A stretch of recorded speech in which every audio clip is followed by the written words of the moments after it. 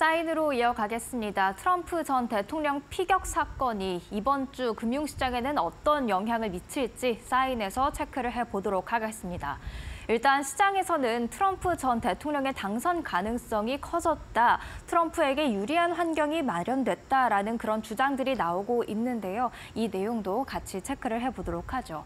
일단 위험했던 순간이었습니다. 자칫하다간 사망으로까지 생존 여부를 장담할 수 없는 그런 상황까지 갈 수가 있었는데요. 펜실베이니아주 버틀러 유세 현장에서 트럼프 전 대통령을 겨냥한 총격이 다섯 발 정도 있었고요. 어, 이 총발 한 발이 지금 트럼프 전 대통령의 귀를 스치면서 귀를 부상 입는 데에 그치는 모습들이었습니다. 안전하다라는 그런 이야기들 계속해서 나오고 있었죠.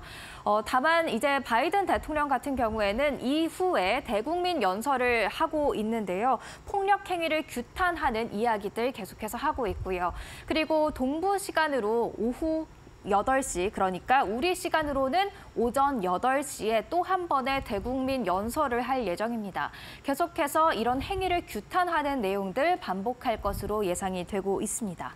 자, 이렇게 위험했던 순간이 오히려 트럼프 전 대통령에게는 귀한 순간이 될 수도 있겠습니다. 지금 승리 가능성이 높아지고 있다라는 코멘트들 계속해서 나오고 있는데요. 일단 이번 피격으로 트럼프 전 대통령의 대선 승리 가능성이 높아질 것 이번 주 주식시장에서 관련 움직임이 나올 것이다라는 코멘트 있었고요. 그리고 레이건 대통령도 암살 시도 이후에 여론조사에서 지지율이 22포인트나 올랐었다. 라는 코멘트 있습니다. 트럼프 후보도 이런 모습들 확인할 수 있다라는 그런 코멘트가 되겠습니다. 게다가 거물들의 지지도 이어지고 있습니다. 앞서서도 살펴봤는데요. 일단 빌 애크먼 퍼싱 스퀘어 캐피털 매니지먼트 설립자 특히 억만장자계의 거물이라고도 알려져 있죠. 이 빌 애크먼이 지금 트럼프 전 대통령을 향한 지지에 나섰습니다.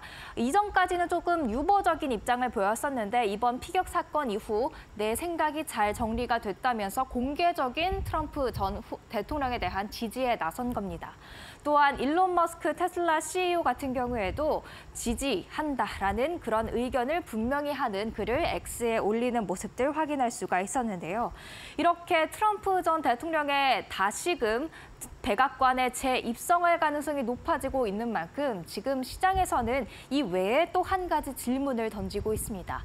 그래서 바이든 대통령 대선에서 사퇴한대 이 이야기입니다. 지금 대선 중도 포기 가능성에 대한 시장의 베팅이 열을 올리고 있는데요. 이 지금 가능성을 표시한 그래프가 되겠습니다. 폴리 폴리 한 업체가 폴리마켓이라는 지금 예측 베팅 사이트에서 나와 있는 중도 포기 가능성에 대한 베팅인데요. 지난 ABC 인터뷰를 진행했던 이후 중도 포기 가능성이 좀 낮아지는 듯 듯 했지만 시장은 다시금 지금 바이든 대통령이 사퇴할 수 있다라는 그런 가능성 높여 나가고 있습니다. 이제 곧 있으면 또 다른 여론조사 트럼프와 바이든 간의 대결 구도에서 여론조사가 곧 또 나오겠죠. 이때 만약에 지지율 격차가 트럼프 쪽으로 더 강해졌다라는 시그널이 나온다면 이 바이든에 대한 중도 포기 가능성에 베팅하는 그런 베팅 가능성은 더욱더 높아질 수 있을 겁니다. 그래서 월요일장에서 또 어떤 변화가 나타날지 예측을 해보기 전에 바이든에 대한 사퇴 포기 가능성이 커진다면 해리스 부통령에 대한 시선도 당연히 이목이 집중이 되겠죠. 그래서 똑같이 폴리마켓이라는 예측 사이트에서 인물별 대선 승리 가능성을 지금 추측을 하고 있는데요. 바이든 대통령이 진한 파랑색이 되겠고요. 카말라 해리스 부통령이 하늘색이 되겠습니다. 사실 그렇게 큰 격차가 나지는 않습니다만 있지만 해리스 부통령에 대한 가능성이 조금 더 올라오고 있는 모습들 확인할 수 있고요. 그럼에도 불구하고 트럼프 전 대통령보다는 훨씬 뒤처지고 있기 때문에 시장은 계속해서 트럼프 강세에 대한 베팅을 해 나갈 것으로 보여집니다. 그렇기 때문에 월요일장에서는 일단 변동성에 주의를 하셔야 될 것 같습니다.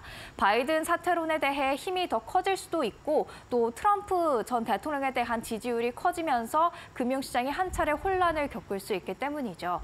변동성 지수 연중으로 보면 계속해서 12에서 14 사이에서 최근에는 왔다 갔다 하고 있는 모습들 보여지고 있는데요. 이 빅스 지수 다시금 올라올지 한번 체크를 해보셔야 될 것 같습니다. 한편 여론조사에서 만약에 트럼프 전 대통령의 지지율이 압도적으로 나온다면 오히려 불확실성을 제거하는 측면에서 변동성은 또다시 낮아질 수도 있다 장기적으로 이런 이야기도 나오고 있습니다. 그리고 안전 자산에도 주목을 하셔야 될 것 같은데요. 일단 달러 인덱스 최근에 104 수준에서 지금 안정화를 보이고 있는데 트럼프 전 대통령에 대한 지지율이 높아지고 당선 가능성이 높아진다면 인플레 둔화가 더뎌질 수 있다라는 쪽으로도 시선이 옮겨갈 수 있습니다. 이에 따라서 금리 인하가 또 시기적으로 늦춰지게 된다면 달러 계속해서 우위를 보일 수 있기 때문에 달러 강세 유지될 수 있다라는 이야기들도 있고요. 또 국제 금값 같은 경우에는 지금 월요일장에서는 또다시 사상 최고치를 찍을 수도 있다 이런 이야기 있는데요. 변동성이 커지면서 투자자들이 일단은 안전자산으로 움직일 수 있기 때문이다라는 그런 분석들 나오고 있습니다. 어, 한편 채권에 투자하신 분들, 특히 국채에 투자하신 분들 빛을 보려면 조금 더 기다려야 되는 상황이 올 수도 있을 것 같습니다. 어, 이, 올해 벌써 금이 이만큼 오를 때 국채 가격은 정말 미미한 수준에 그치고 있는데요.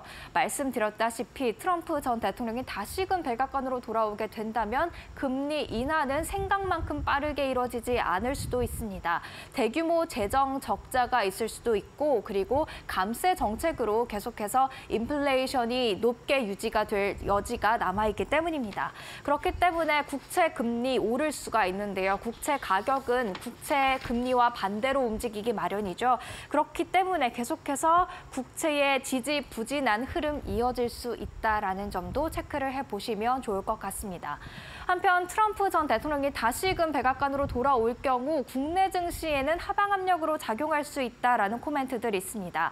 대규모 관세를 인상을 예상하고 있는 만큼 무역 전쟁이 다시금 발발할 수 있기 때문인데요. 이미 대중 무역 전쟁 때 어떤 일들을 겪었는지 기억하시는 분들 계실 겁니다. 이런 기억들 다시금 한번 되살려서 국내 증시에도 대응하실 필요가 있겠습니다. 지금까지 사인이었습니다.